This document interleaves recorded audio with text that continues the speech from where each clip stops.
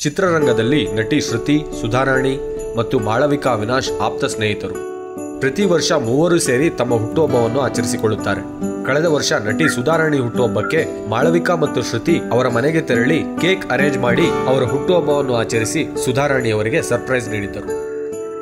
ಈ ಸಲ ಶ್ರುತಿ ಮತ್ತು ಸುಧಾರಾಣಿ ಮಾಳವಿಕಾ ಮನೆಗೆ ತೆರಳಿ ಅವರಿಗೆ ತಿಳಿಯದಂತೆ ಮನೆಯ ಒಳಗೆ ಹೋಗಿ ಬರ್ಡೇ ಕೇಕ್ ಸೆಟ್ ಮಾಡಿದ್ದರು. ಗೆಳತಿಯರನ್ನು ನೋಡಿದ ಕೂಡಲೇ ಆಶ್ಚರ್ಯ ಮತ್ತು ಆನಂದದಿಂದ ಮಾಳವಿಕಾ ಅವಿನಾಶ್ ಇಬ್ಬರನ್ನೂ ತಬ್ಬಿಕೊಂಡು ತಮ್ಮ ಹುಟ್ಟುಹಬ್ಬವನ್ನು ಗೆಳತಿಯರೊಂದಿಗೆ ಸಂತಸದಿಂದ ಸಂಭ್ರಮಿಸಿದ್ದಾರೆ.